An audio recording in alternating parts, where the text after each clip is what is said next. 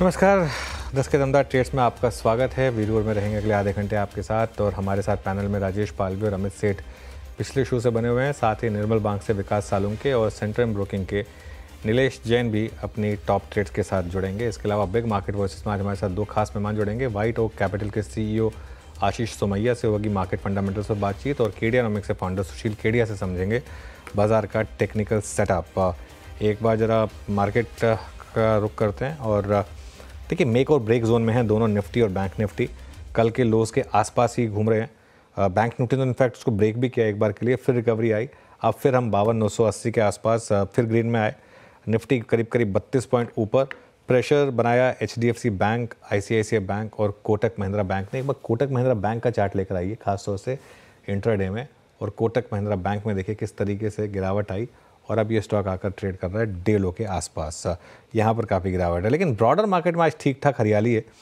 कुछ स्टॉक्स खासतौर से चंबल फर्टिलाइजर्स आज सुबह वीरू की टीम में भी था, आज सुबह क्विक सिंगल्स में भी ये स्टॉक मेंशन हुआ था, चंबल फर्टिलाइजर्स और यहाँ पर अच्छा मोमेंटम इस स्टॉक में।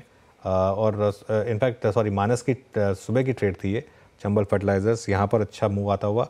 उसके अलावा Canfin homes PFC Navin fluorine M C X इनमें से काफ़ी हमारे पैनल ने पिक भी की थी। इन सब में अच्छे मोमेंटम आते हुए। और आज तो इवन वोडाफोन आइडिया भी चल रहा है, डेढ़ परसेंट ऊपर। नीचे क्या है जुबिलेंट फ़ूड वर्क्स है। और वो जो आरबीआई का कॉशन आया उसके चलते मुथूट और मनापुरम यहाँ पर भी थोड़ा सा रेड दिखाई देगा आपको। एसआरएफ रेड में इंटरेस्टिंग है, बाकी सारे केमिकल स्टॉक्स अच्छे चल रहे हैं। एसआरएफ नहीं चल रहा सिर्फ़, ये कोई कंपनी स्पेसिफिक इशू रहा होगा। बैंक निफ्टी अब फिर कोशिश कर रहा है ग्रीन में आने की तो काफ़ी वॉलिटिलिटी है। बीरो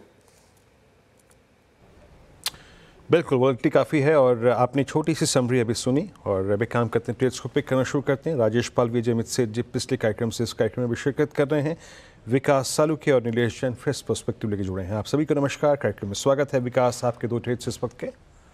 गुड मॉर्निंग अनुज जी वीरेंद्र जी देखो ओवरऑल मार्केट का सेटअप अभी भी एक पॉजिटिव टेरिटरी में देखने मिल रहा है बट स्टॉक स्पेसिफिक मुझे लगता है अच्छा मोमेंटम कैरी करते हुए देखने मिला। पहला बाय कॉल रहेगा जेएनएफसी जेएनएफसी में एक अच्छा ब्रेकआउट यहाँ पे डेली चार्ट पे देखने मिल रहा है और फ्रेश ब्रेकआउट है। अभी पाँच मिनट पहले इसमें एक ब्रेकआउट देखने मिल रहा है सिक्स एट्टी सिक्स के ऊपर का। तो मुझे लगता है अपसाइड में एक अच्छा मोमेंटम कैरी करते हुए देखने मिलेगा। सेवन ट्वेंटी फोर के आसपास के टारगेट यहाँ पे आते हुए देखने मिलेंगे। नीचे में सिक्स सेवेंटी फोर का एक स्टॉप लॉस आज का डे लो के स्टॉप लॉस से जेएनएफसी को यहाँ पे बाय करना है। मोमेंटम इंडिकेटर भी यहाँ पे पॉजिटिव इंडिकेशन दिखा रहा है तो ओवरऑल यहाँ पे सेटअप बहुत स्ट्रॉन्ग है टेक्निकल बेस पे। दूसरा मेरा रहेगा नवीन फ्लोरो का नवीन फ्लोरो में भी एक अच्छा मोमेंटम कैरी करते हुए देखने मिल रहा है। अगर आप देखोगे तो लॉन्ग टर्म एवरेज के ऊपर लास्ट दो ट्रेडिंग सेशन से उसने अच्छे क्लोजिंग बेसिस पे मेंटेन किया हुआ था। तो नीचे में थर्टी फोर थर्टी का स्टॉप लॉस लगा के ऊपर में मुझे लगता है थर्टी सिक्स सिक्सटी के आसपास के टारगेट नवीन फ्लोरो में यहाँ पे आते हुए देखने मिलेंगे। दोनों भी काउंटर यहाँ पे स्ट्रॉन्ग लग रहे हैं और दोनों में मुझे लगता है पॉजिटिव ड्राइवर यहाँ पे देखने मिल सकता है आगे एक से दो दिन में। तो मुझे दोनों काउंटर में लगता है कि थर्टी सिक्स फोर्टी का सिक्सटी का टारगेट नवीन फ्लोरों में और जीएनएफसी में सेवन ट्वेंटी फोर का टारगेट यहाँ पे आते हुए देखने मिल सकता ओके दो ट्रेड्स विकास जी के यहाँ पे स्क्रीन पे। नीलेश गुड मॉर्निंग आपके दो trades morning Virendra ji good morning सभी को। देखिए सबसे पहले खरीदने की सलाह है केमिकल स्पेस में से दीपक नाइट्रेट इस पर्टिकुलर स्टॉक में। आ, काफ़ी बेहतरीन सेटअप है। एक अगर हम डेरिवेटिव डेटा भी देखें तो लगभग चार परसेंट के ओ एडिशन हमें फ़िलहाल अभी अभी देखने को मिल रहे हैं। पिछले कुछ एक मिनटों में काफ़ी अच्छा स्पर्ट भी यहाँ पे आया है। तो एक फॉलोअप मूव हम यहाँ पे। 3000 से लेके 3050 तक का एक्सपेक्ट करके चल रहे हैं। 3050 के टारगेट के लिए दीपक नाइट्रेट को लॉन्ग करके चलने की सलाह होगी। स्पॉट्स के लेवल्स हैं। स्टॉप लॉस रखना होगा टू नाइन वन ज़ीरो का यहाँ पे। तो दीपक नाइट्रेट एक पर्टिकुलर स्टॉक है जहाँ पे खरीदारी की सलाह है। उसके अलावा दूसरा स्टॉक रडार पे है टाटा कम्युनिकेशन यहाँ पर भी लगातार एक series of high and high bottom formation बनती हुई नज़र आ रही है। और ऊपरी स्तर पर अगर हम टारगेट की बात करें तो लगभग 2220 से लेके 2240 तक की अवसर हमें यहाँ पे देखने को मिल सकती है। 2130 का स्टॉप लॉस रख के टाटा कम्युनिकेशन को भी लॉन्ग करने की सलाह ओके टाटा कम्युनिकेशन इक्कीस सौ बासठ पे प्लेसमेंट बहुत स्ट्रॉन्ग थी और मूव अच्छा देता हुआ। अच्छा अब एक काम करते हैं चलते हैं। राजेश पालवे जी के पास। राजेश जी क्या पिक कर रहे हैं आप? वीरेन जी मेट्रोपोलिस पे नज़र है। आ, ये स्टॉक में कंटिन्यूटी बनी हुई है अप ट्रेंड के और जिस तरीके से स्टॉक में देखे तो थर्ड कंजिक्यूटिव डे है जहाँ पे एक स्ट्रेंथ पॉजिटिव साइड पे बनती हुई दिखी है स्टॉक में। हमें लगता है मेट्रोपोलिस फ्यूचर यहाँ पे बाय किया जा सकता है। अपसाइड के टारगेट यहाँ पे बाईस सौ नब्बे तेईस सौ की तरफ़ आते हुए दिख सकते करंट लेवल से स्टॉप लॉस होना चाहिए करीब ट्वेंटी टू फिफ्टीन के आसपास। आ, दूसरा स्टॉक जो पसंद आ रहा है वो सेम ही स्पेस पे और उसमें हमें लगता है कि सिंजिन पे भी फोकस किया जा सकता है। यहाँ पे एक आ, पिछले तीन चार ट्रेडिंग सेशन से देखें तो हायर हाई लो फॉर्मेशन बनते हुए दिख रहे हैं। स्टॉक में ओवरऑल स्ट्रक्चर बुलिश है। सिंजिन फ्यूचर पे बाय करने की सलाह है और यहाँ पे हम टारगेट एक्सपेक्ट करें नाइन थर्टी फाइव की तरफ़। स्टॉप लॉस रखेंगे करीब नौ सौ रुपये के आसपास। ओके okay, अच्छा मेट्रोपोलिस लिखिए ये जो अभी कॉल थी उन्होंने सुबह आज सीधा सौदा की टीम में पिक किया गया था मेरे द्वारा ही। ओवाइलेशंस बहुत स्ट्रॉन्ग थे चार्ल्स की प्लेसमेंट बहुत स्ट्रॉन्ग थी अब डे हाई पर आके ट्रेड करता हुआ मई 2022 के बाद अब तक की सबसे हाईएस्ट ट्रजेक्ट्री में आके मेट्रोपोलिस ट्रेड करता हुआ। यही एक थॉट था उसको पिक करने के पीछे।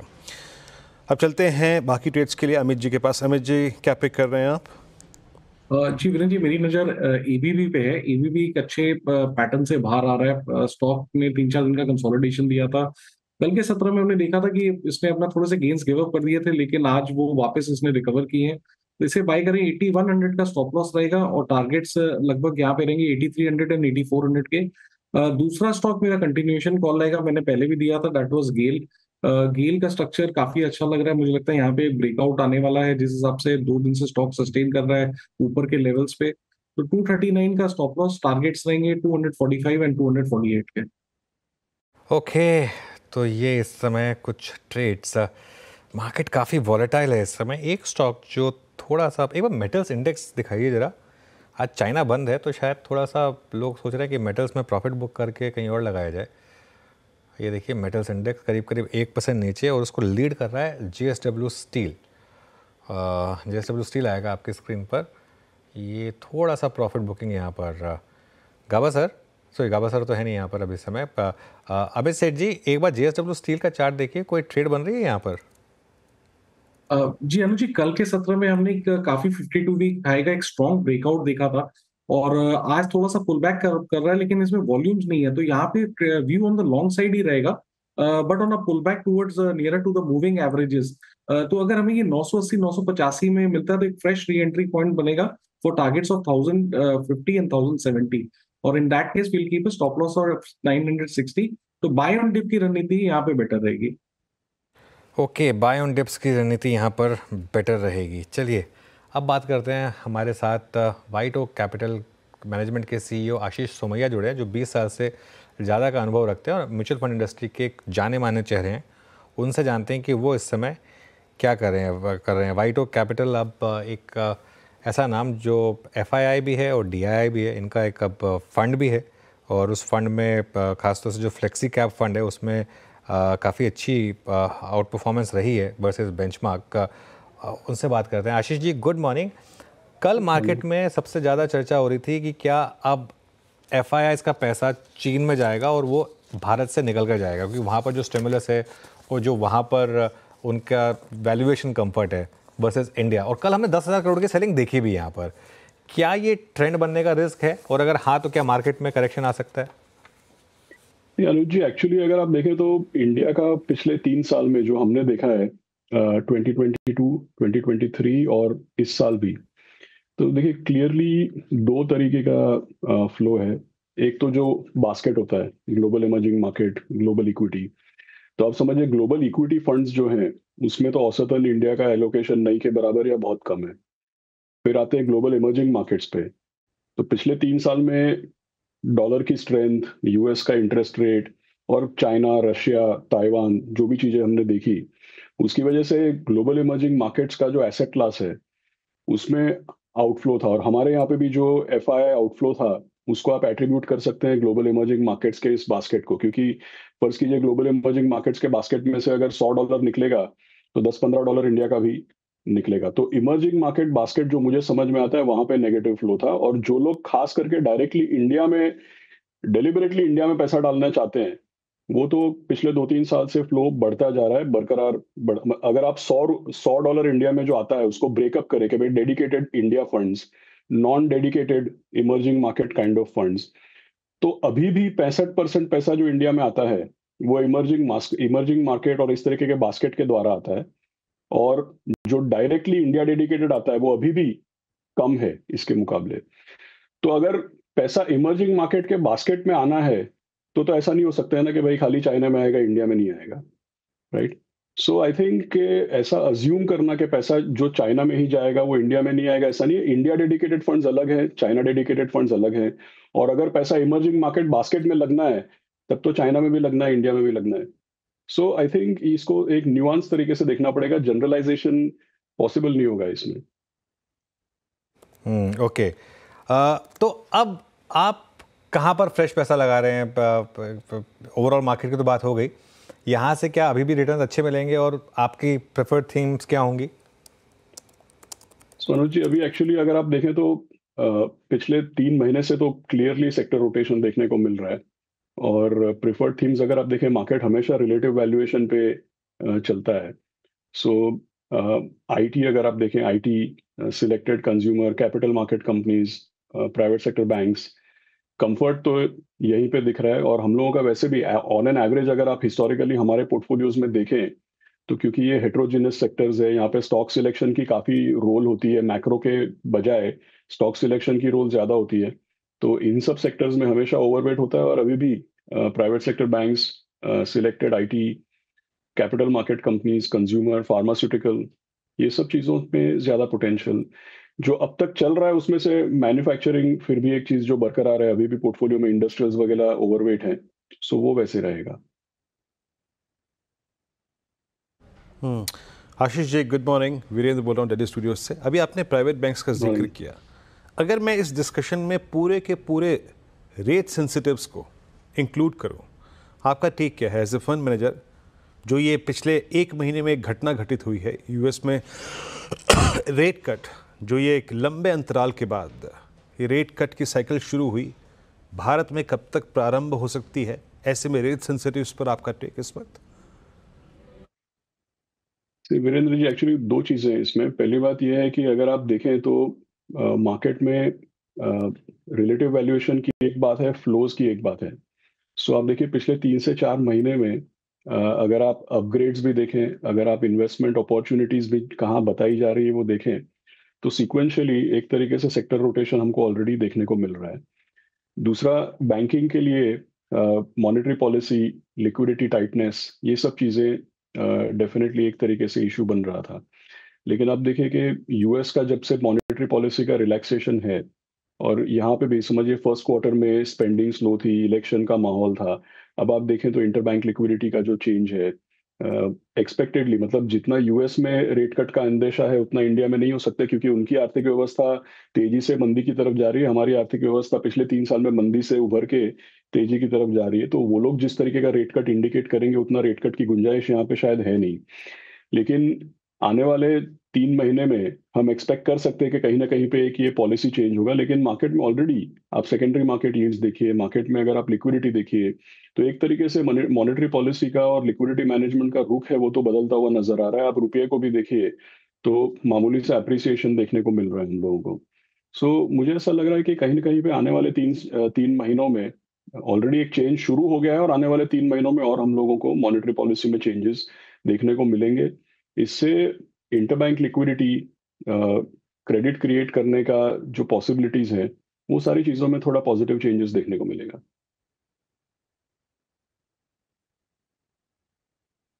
तो यहाँ पे इस पहलू पे बात हो गई। अच्छा आशीष जी जो स्क्रीन पे हम प्राइस मैसेज रीड कर पा रहे हैं, हालाँकि अर्निंग्स में कोई सुधार नहीं आया, वो मैं बात कर रहा हूँ जिसकी वो है कमोडिटीज़ में, वो है केमिकल स्पेस इसमें आप लोगों ने क्या व्यू बनाया है? आपका निजी राय क्या है केमिकल बास्केट पे इस वक्त? पिछले थोड़े समय में वीरेंद्र जी बेसिकली हमारे जो टीम है, हमारे जो एनालिस्ट हैं इनका सोचना इस तरीके का है कि कोविड के बाद पहले डिमांड क्रंच डिमांड के बाद ओवर सप्लाई ओवर स्टॉकिंग और ये जो एक्सेस स्टॉकिंग वगैरह जो है, ये पिछले दो तीन महीनों से हमको ऐसा नज़र आ रहा है कि भाई ये अभी क्लियर अप हो गया है। मतलब जो सप्लाई चेन में जो एक्सेसेस होते हैं, वो क्लियर अप हो गए हैं और आने वाले थोड़े समय में प्राइसिंग फर्म होने की और सिचुएशन इम्प्रूव करने का अंदेशा है। तो हमारे पोर्टफोलियोज में बरकरार एक्सपोजर है और यहाँ से इम्प्रूवमेंट की एक्सपेक्टेशन है हमारी। ओके, बिल्कुल। अच्छा ये जो एक चीज़ मैं आपसे पूछने चाह रहा था पीएलआई वाले स्टॉक्स हैं या ईएमएस वाले जो स्पेस स्पेसेस हैं, जहाँ पर बहुत पैसा बना, क्या ये थीम अभी भी इंटैक्ट है? आपके फंड में है क्या ये डिक्सन एम्बर जैसे इस तरीके के स्टॉक्स तो अनुज जी ज़रूर एक्चुअली देखिए, अगर आप मल्टीपल्स की बात करते हैं तो पिछले पाँच साल से, जैसे डिक्सन की आपने बात की, जब से लिस्ट किया, तब से एक तरीके से एक्सपेंसिव माना जाता है और उस तरीके का रिटर्न भी बना है। लेकिन अब क्या है कि यहाँ पे बात ये हो गई है कि पोटेंशियल मतलब बार बार समझो प्रॉफिट बुक करते हैं, थोड़ा एक्सपोजर कम करते हैं, नए आइडियाज़ ढूंढते हैं। लेकिन इसमें आइडियाज़ मिल भी रहे हैं टीम को मैन्युफैक्चरिंग आउटसोर्सिंग कंपोनेंट्स ये सब चीज़ों में आइडियाज़ मिल भी रहे हैं टीम को और शायद आगे पोटेंशियल भी, जितना हमने अब तक देखा है उससे पोटेंशियल भी कई ज़्यादा है। तो depending on the relative valuation portfolios में चेंजेस होते हैं, लेकिन अगर थीम की बात करें तो ये एक्सपोजर बरकरार रहेगा। नए आइडियाज़ भी इसमें चलेंगे एग्जिस्टिंग आइडियाज़ भी पोर्टफोलियोज में बरकरार हैं और आगे जाकर के अच्छा पोटेंशियल दिखता है इसमें हम्म। अच्छा आशीष जी, एक एक स्पेस पे कमेंट आपके और लेंगे क्योंकि अभी जब मैं रेट सेंसिटिव्स की बात कर रहा था तो मैं रियल स्टेट पे आ रहा हूँ अल्टीमेटली मेरा प्रश्न केंद्रित है रियल स्टेट पे स्टॉक्स में वो अच्छा खासा है बट रियल स्टेट के साथ जो रियल स्टेट एंसलरी में चाम था 2023 में 22 में 21 में वो अभी पिछले कुछ महीनों से विजिबल नहीं है। प्राइस डैमेजेस भी हुए हैं लास्ट रिपोर्टेड अर्निंग्स के बाद। Real estate ancillary home improvement ये सेगमेंट इन प्राइसेस पे आप लोगों का व्यू क्या है? सो वीरेंद्र जी हमारे पोर्टफोलियोज में है एक्सपोजर अगर आप देखें होम एंसिलरीज में सिलेक्टेड uh, जो भी कंपोनेंट्स हैं या होम एंसिलरीज होम इम्प्रूवमेंट्स ये सारों में एक्सपोजर है पोर्टफोलियोज में, खास करके क्योंकि डायरेक्टली रियल एस्टेट स्टॉक्स में हमारा ज़्यादा एक्सपोजर नहीं था। सिलेक्टिवली एक दो स्टॉक्स में एक्सपोजर है, जैसे अभी भी आप स्क्रीन में दिखा रहे हैं, इसमें से दो तीन स्टॉक्स में से एक्सपोजर है। बट वो पोर्टफोलियो वेटेज में बहुत ज़्यादा नहीं है एंसिलरीज का वेटेज ज़्यादा है। और आई थिंक क्या है कि प्राइसिंग को लेकर के या वैल्यूएशंस को लेकर के आगे पीछे कभी प्रॉफिट बुकिंग कभी रिडक्शन बट अल्टीमेटली अगर आप आने वाले तीन साल की बात करें तो रियल एस्टेट सेक्टर इट्सेल्फ अभी तो मेरे ख्याल में जैसे कोविड के बाद एक साइकिल शुरू हुई है। अभी आप देखें तो इंडिया में लोएस्ट इन्वेंट्री पे रियल एस्टेट आ गया है। मतलब अगर आप होम इन्वेंट्री देखें तो one of the historic lowest पे आपको देखने को मिल रहा है और आपको प्रोजेक्ट अनाउंसमेंट्स अभी देखने को मिल रहे हैं। तो वैल्यूएशंस की वजह से प्लसेस एंड माइनसेस हो सकते हैं, लेकिन अगर आप आगे का अगले तीन साल का रनवे की बात करें तो काफ़ी पोटेंशियल है इसमें। ओके okay, चलिए बहुत बहुत शुक्रिया आशीष जी आज हमारे साथ जुड़ने के लिए और हमसे बात करने के लिए। थैंक यू अब थोड़ा आगे बढ़ा जाए और थोड़ा मार्केट के टेक्निकल सेटअप की भी चर्चा कर ली जाए। हमारे साथ केडियानोमिक्स के फाउंडर सुशील केडिया जुड़े हैं। सुशील जी गुड मॉर्निंग आपके लॉयल फैंस ने मिस किया आपको पिछले हफ़्ते। आ, पहले तो होप करूँगा कि आपकी तबीयत अब पूरी तरीके से ठीक हो चुकी है। Yes okay okay. बताइए मार्केट पर अब क्या व्यू बन रहा है सुशील? क्योंकि एक मार्केट में बड़ी रैली हुई और कल एक डिक्लाइन आया तो अब क्या व्यू बन रहा है? हम्म, देखिए ये रोज रोज के राइजेस एंड डिक्लाइन से ज़्यादा अनुज मुझे आपसे सप्ताह में एक बार बात करने का मौका मिलता है पिछले वीक मिला नहीं। तो मैं आपको एक अनोखी चीज़ दिखाना चाहता हूँ शुरुआत में। आपको पिछली बार भी मैक्रो पे बात करके मज़ा आया था। देखिए कुछ होता है ना हम अपनी इंद्रियों में से कुछ चार्ट्स को हम देखते हैं न्यूज़ को सुनते हैं और एक कुछ होता है कि जो एक ट्रेडर का इंट्यूशन होता है, जिसे मैं कहता हूँ ना, मेरी चार्ट में से मुझे महक आती है एक खास तो ये महक जब आई थी आखिरी बार 2008 में तो पूरे संसार के मार्केट्स का सत्यानाश हो गया था। और 2012 से जो इसका बॉटम बना था, एक तरफा वर्ल्ड के सारे एसेट मार्केट्स में तेज़ी है। और ये 2000 उन्नीस सौ अंठानवे, निन्यानवे में भी हुआ था, ये क्या है, क्या चीज़ की चार्ट है? ये यूरो वर्सेस जैपनीज येन की चार्ट है। अब इसका लॉजिक बताता हूँ ऐसा क्यों होता है। जितनी भी करेंसीज है वर्ल्ड में डॉलर के बाद सबसे बड़ा stock of physical currency issued currency है यूरो और जैपनीज येन की एक विचित्रता है कि अगर डॉलर बाकी करेंसीज के सामने बढ़ता है तो जैपनीज येन और ज़्यादा बढ़ जाता है। और डॉलर अगर घटता है तो जैपनीज येन और ज़्यादा घट जाता है। यानी जैपनीज येन डॉलर की परछाई है। तो आप जब यूरो और जेपीवाई की रेशियो को देखते हो डॉलर के बाहर सबसे बड़ी करेंसी बनाम सबसे संवेदनशील करेंसी तो ये पेयर की जो हाईएस्ट सेंसिटिविटी होती है और उसकी प्रेडिक्टिव वैल्यू स्टैटिस्टिकली भी वैलिड है, मैंने टेस्ट रन किए हैं. जब जब ग्लोबल एसेट्स मार्केट में एक तरफा पाँच सात साल का ट्रेंड या साल दो साल का बड़ा कोई भीषण करेक्शन आने वाला होता है, ये सबसे पहले बॉटम या टॉप हो जाती है. तो यूरो जेपीवाई का ये जो पैटर्न जो टॉप आउट होके जो स्लैश आया मे में और अब एक माइनर जो रिबाउंड आ रही है, इस लाइन तक भी जा नहीं पा रहा है। तो इसलिए, देखिए, या तो मैंने जो इतने साल में सीखा, मैं सब कुछ भूल जाऊँ, भूल नहीं पा रहा हूँ तो मैं सारे लार्ज कैप्स पे इसीलिए हमेशा अल्ट्रा कॉशियस होकर चलूँगा। अब मैं उनसे अगर उतर के हमारे नॉर्मल स्टॉक की चार्ट रीडिंग की बात पे आता हूँ, अनुज, और ये सारे पैटर्न ये ये जो यूरो जेपीवाई वाला पैटर्न वर्ल्ड की हर एक इक्विटी इंडाइसिस को इम्पैक्ट कर रहा है, जिसको मैं इग्नोर नहीं कर सकता। तो फिर मैंने डिटेल में जाके देखा, अगर मैं लार्ज कैप्स को कछुए कछुए मान लेता हूँ, और ये स्मॉलर मिड कैप्स को हम खरगोश मान लेते हैं तो कछुए और खरगोश की कहानी हमेशा होती है बाज़ार में। कछुए अपनी मंथर गति से चल चल के, चल चल के सारे इकट्ठा हो गए, सब अपने फाइनल पड़ाव तक पहुँच गए। खरगोश बीच में थोड़े घमंडी हो गए थे, अब उन्होंने ज़ोर से वापस ब्रेकआउट दे दिया। तो दुनिया भर के साठ, सत्तर, अस्सी स्टॉक्स में लास्ट दस दिन में हमारे नए बाई कॉल्स आए उन पे भी हम आएँगे। और अनुज लार्ज कैप्स में बड़ी सीरियस चेतावनी के पैटर्न्स बने हुए हैं और दोनों स्पेसेस को मिड और स्मॉल कैप्स को अलग तराजू में देखना होगा लार्ज कैप्स को अलग में देखना होगा। खाली इंडेक्स को देख के चलने पे आदमी कभी वापस चपेट में आए ओके okay. अच्छा सिंस आपने बात कर ली थोड़ी मैक्रो की और ग्लोबल मैक्रो की बात कर ली, थोड़ा उसी को और एक्सटेंड करते हैं। स्टॉक्स के बाद उसके बात कर लेंगे। चाइना में जो हुआ, वो, उसको कैसे देख रहे हैं आप? और एक जो रिस्क बन रहा है कि अब चाइनीज़ मार्केट यहाँ से बहुत बड़ी आउट परफॉर्मेंस दिखा सकती है। क्या वो टाइन कर रही है आपके इस व्यू से कि लार्ज कैप में करेक्शन आ सकती है? देखिए, ये बात अपनी बहुत स्पष्ट शब्दों में हुई भी थी कि bull is going into the China shop एक मैंने सरकेस्टिक तरीके से आपको कहा भी था कि bull is going into the China shop आवरा है ना? जब साढ़े मर्तबानों की दुकान में घुसता है तो सब कुछ सारे संसार में तोड़फोड़ मचवा देता है। तो वो घटना यहाँ जो हो रही है शंघाई कॉम्पोजिट की मैं चार्ट आपके सामने खोलता हूँ। ये देखिए, हमने पहले इसको डिस्कस हुआ था पंद्रह दिन पहले कि एक तरफा चाइना में तेज़ी आएगी और शायद हमने और भी किसी चैनल पर इसके बारे में बात करने का मौका मिला था। तो चाइना की एक तरफा तेज़ी अब जो आ रही है 2020 का भी क्रैश आने के पहले चाइना एक तरफ़ उछला और वो क्रैश चलता गया तो चाइना उछलता चला गया, उसके पहले 2008 में भी हुआ। तो समवेयर चाइना में ना सस्टेनेबल तेज़ी नहीं बनती है। जो जो बड़ी आउट परफॉर्मेंस तेज़ी होनी थी वो 20 साल पहले हो गई। तो चाइना ग्लोबल इन्वेस्टर्स के लिए एक विवशता का बाज़ार है कि और कहीं नहीं मौका मिल रहा है। हम चलो चाइना में जाके इन्वेस्ट कर देते हैं। और और वो जो, ये देखो अब आ जाएगी चार्ट मेरी स्क्रीन पर। हाँ पीसीआर अगर इस चार्ट को दिखा पा रहे तो जो चाइना में दो वीक में जो बवाल आ गया, और हमने यहाँ से भी एक बार प्रेडिक्शन निकाला था मार्च में कि चाइना में उछाल आएगा। और फाइनल सेकंड बॉटम यहाँ निकाला था। मेरा अनुमान है चार हज़ार तक तो ये बिना किसी हेजिटेशन के बयालीस सौ, तिरालीस सौ तक तो जा रहा है।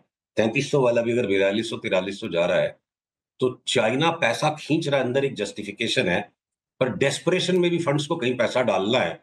चाइना ठीक है अंडर वैल्यूड दिखता है, पर वहाँ भरोसा और विश्वास नहीं है लॉन्ग टर्म का, या सस्टेनेबल इन्वेस्टमेंट स्टोरी बने। और अगर ये चार्ट में दिखा पा रहा हूँ स्क्रीन पे लॉन्ग टर्म की चार्ट है। 2008 का ये जो आया था सितंबर 2007 में, संसार क्रैश हो गया। के बाद 2015 के बाद भी 16 17 सीवियर अंडर परफॉर्मेंस था। एक बार वापस ये पीक आ रहा है तो मुझे लगता है कि चार हज़ार बयालीस तक का जब तक पीक आएगा, बाकी वर्ल्ड के इक्विटी मार्केट्स में मोटा करेक्शन बन सकता है। इकोनॉमिक थ्योरी कोई इसकी प्रॉपर जस्टिफिकेशन वाली नहीं है, पर वही बोलते ना सारे महक इंडिकेटर ट्रेडर्स की जो इंस्टिंक्ट होती है चाइना पास्ट में जब जब इस तरह आउट परफॉर्मेंस दिया, संसार का भट्टा बैठा है तो चाइना की चार्ट से वापस वही महक आ रही है। भैया, बाकी सारे इक्विटी मार्केट सावधान हो bull in the China shop indicator कहेंगे इसको। जी नमस्कार। ओके. आपने यहाँ पे ग्लोबल मार्केट्स की बात करी स्पेशली चाइनीज़ मार्केट की प्लेसमेंट को समझाया। अभी हाँ, अब ट्रेडर्स बंधुओं के लिए राय क्या है? सबसे पहले आपके वो प्रिफर्ड आइडियाज़ जो कि लॉन्ग्स के हैं और शॉर्ट के हैं अगर कुछ क्लासिफाई कर पाए तो। चलिए हम उन्हें नाम लेके भी बात करेंगे। लॉन्ग आइडियाज़ जो अभी भी बरकरार हैं या नए, जिनमें बाइंग सिग्नल्स आ रहे हैं, उनकी टाइम ड्यूरेशन थोड़ी सी बड़ी है। कम से कम तीन महीने के आगे के पीरियड का व्यू लेके चल रहे हैं तो उसमें फ्लक्चुएशन को हैंडल कर सकते हैं।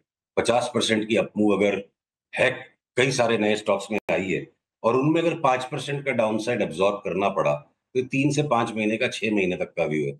और जो लार्ज कैप्स के अंदर में जहाँ पे बिकवाली के संकेत आने लग गए हैं, या जिनको हम अब बिल्कुल तैयार है कि जब सिग्नल आएँगे, शॉर्ट सेल करेंगे, वो much more shorter time horizon के इस टाइम के डिफरेंस को समझने के बाद तो देखिए, पहले लार्ज कैप्स में बताऊँ, कहीं छिपने की जगह दिख रही है क्या? जो एफएमसीजी में हमने खूंखार तेज़ी करी ए टू जेड स्टॉक्स में अब हम सेल सिग्नल के लिए वेट कर रहे हैं। मेरे को हिंदुस्तान लीवर में शॉर्ट सेल सिग्नल का मौका आ गया तो शॉर्ट सेल करने में कोई हेजिटेशन नहीं होगी। मतलब अमर पट्टा किसी भी स्टॉक को नहीं लिखा, हिंदुस्तान लीवर ने पाँच पाँच, सात सात साल नेगेटिव रिटर्न्स बनाए हैं। और अब साल दो साल तक इसकी धुलाई होगी। कोई एफ़ में हाइडिंग स्पेस नहीं दिखता है, इक्का दुक्का किसी नाम को छोड़ के, किसी लगार्ड को। आईटी के अंदर जिस तरह से भयंकर तेज़ी होली, भगवान की कृपा रही, खूब पैसे मिले। अब आईटी को हमें बेच बेच के कमाना है। लगेंगे जितनी बार स्टॉप लॉस लगेंगे लगेंगे। मेटल्स में जो थोड़ा बहुत एक परकअप अब आ रहा है और लग रहा है कि मेटल्स में सस्टेनेबल तेज़ी बन जाएगी। तो देखिए सेल जो बिल्कुल लगाड़ रह गया था तो जिसने कोई भी कारणों से बाकी बाज़ार के साथ पार्टिसिपेट नहीं किया वो एक अपवाद की तरह चलता चल सकता है। एनएमडीसी में जो बढ़िया पैटर्न ब्रेकआउट आ गया, और हमें एनएमडीसी यहाँ से भी तीस परसेंट बढ़ता लगता है, वो एक एक्सेप्शन है। नालको हिंडालको जो कॉपर की सिजलिंग रैली हो गई उस पर है हो सकता है कॉपर की वो रैली भी पीटर आउट हो जाए तो डेंजरस है। और उसके पीछे मैं टाटा स्टील ले लूँ या जिंदल स्टील ले लूँ, ऐसी कहीं भी चार्ट नहीं है। ये जेएसडब्ल्यू स्टील टाटा स्टील ये सब कुटने पिटने के लिए तैयार बैठे हैं। सिग्नल नहीं है, जब आएँगे तब हम बेचेंगे। तो मेटल्स में अलग अलग डिविजन है। ऑटो के स्टॉक्स में अगर टाटा मोटर्स ने धर धुलाई अच्छा मोटा करेक्शन कर लिया और अब अगर वो अप ट्रेंड में है तो मैं बाकी के ऑटो से स्टॉक्स को देख के कि बजाज ऑटो या हीरो होंडा, जो लग रहा है ऊपर 20 25 50 माले पे चढ़े हुए और बंजी जंपिंग नहीं, ये बिना पैराशूट के कूदेंगे सारे स्टॉक्स नीचे। तो इसका मतलब ये नहीं मैं टाटा मोटर्स को बेचूँगा, मैं सिलेक्टिवली टाटा मोटर्स पे लॉन्ग रहूँगा। तो मेटल हो गया, ऑटो हो गया, बैंक्स। बैंक निफ्टी के अंदर ये एच बैंक बढ़ गया और न्यू हाई आ जाएगा। चार्ट का पैटर्न आप देखोगे ना, बहुत ही गंदा टाइप का ये पैटर्न है। और ये बाज़ार के छद में इनसे हमें सावधान रहने की ज़रूरत है। ये देखो, एचडीएफसी बैंक में, एचडीएफसी बैंक में सिर्फ़ डबल टॉप बना है ये। ये देखो, डबल टॉप बना है। पीसीआर, प्लीज़ इस चार्ट को दिखाइए, बहुत इंपॉर्टेंट है। और ये एक बार शिष्टाचार के लिए हमने ट्रेडिंग का पंद्रह सौ तक का व्यू नाप दिया, मैं बोलता हूँ इन्वेस्टर्स को। बारह सौ रुपए का भाव आने तक इसको लेने की मत सोचना, इसमें लगाए हुए पैसे पे ब्याज भी नहीं मिलने वाला, टाइम टू टाइम रकम टूटेगी। ये long term top out process है और हम लोग लॉन्ग टर्म अप के अपर एंड की रेंज पे है कि बारह सौ रुपए में जब मिलेगा तब दोबारा इन्वेस्ट करना। आईसीआईसीआई बैंक एसबीआई तो ऑलरेडी डाउन ट्रेंड में माइनर बम्प अप आया। तो बैंक निफ्टी में जितने भी लार्ज बैंक है इंक्लूडिंग कोटक हम बार बार बेच के लेंगे। एक एक बात यहाँ कहनी ज़रूरी है अनुज, जैसे एक व्यक्ति के भी व्यवहार में आपको बहुत सारे विरोधाभास दिखेंगे। कुछ अच्छी बातें दिखेंगी, कुछ अजीब सी दिखेंगे। हर एक स्टॉक की चार्ट में भी विरोधाभास होते हैं। उन विरोधाभास के साथ कैसे जीना है? जो उसकी मुख्य प्रवृत्ति है, उसको पकड़ के चलो। इन सब में अपर एंड पे ट्रेडिंग रेंज के हैं। बीच बीच की जो रैलीज आएगी, वो लार्ज बैंक्स को मिस करेंगे। पर बेच बेच के इनको हमें कमाना है। बैंकों के अंदर में अगर कोई तेज़ी का सा छद उसको क्रिएट करने के लिए स्मॉल फाइनेंस बैंक्स या आपके पीएनबी बीओबी ये बीच बीच में ज़ोर से उछल जाएँगे। आरबीएल ज़ोर से उछल जाएगा। बंधन बैंक ज़्यादा नहीं घटेगा। और बड़े वाले बैंकों में धुलाई होगी, ऐसी हमारे को लगता है चार्ट्स तो घूम फिर के ले दे के एक अडानी के स्टॉक्स को हमें शॉर्ट नहीं करना है, जिस लकीर को हम पकड़ के बैठे रहे, अभी भी वही बरकरार है। रिलायंस की चार्ट इतनी बढ़िया थी, चार दिन में कैसे बिगड़ गई चार्ट तो चार्ट्स भी बनती बिगड़ती है। तो large cap space deep correction की तैयारी में है, और यहाँ कुछ भी नई लिवाली करके पीडी लाइट ले लो, वो क्रूड का दाम घट रहा है। घटते घटते क्रूड अचानक चौरासी हो जाएगा। जियो पॉलिटिक्स जितनी डेंजरस बनी हुई है, सिर्फ़ एक यूएस इलेक्शन की वजह से अगर कोई पोस्टपोनमेंट आ गया जियो पॉलिटिक्स आ गया, वरना ईरान ने ईरान के साथ छेड़छाड़ नहीं, वो कारपेट बॉम्बिंग होनी होनी उसकी। इसराइल बिल्कुल स्पष्ट है कि बस एक ही बार में सबको निपटाना है। Things are not looking good world wide कि गोल्ड का भी चार्ट एकदम ऊपर जो पीक पे है तो एक साथ डॉलर मार्केट में जब बवाल मचेगा गोल्ड पंद्रह परसेंट नीचे आ जाएगा। तो सारे लार्ज कैप्स बिल्कुल बच के चलने लायक है। बीच में ट्रेडिंग अपॉर्चुनिटीज़ तीन से छह महीने की कह लो तेज़ी में ये शिप बिल्डिंग के स्टॉक्स है, माजगांव है, या आपके गार्डन रीच है, या कोचिन शिपयार्ड है, इनमें हमारे सबके बाई सिग्नल्स आए। केमिकल्स के स्टॉक्स में लगातार बाई सिग्नल्स आ रहे हैं। बहुत सारे छोटे वाले एमएनसी स्टॉक्स के अंदर में सब में बाई सिग्नल्स है। तो सिलेक्टिव पॉकेट्स में खरगोश जो अभी भी भागने को तैयार है। ओके। हम खरगोशों पे चढ़ेंगे और कछुओं को बेचेंगे। ओके खरगोशों पे दाम लगाएँगे और कछुओं को बेच देंगे।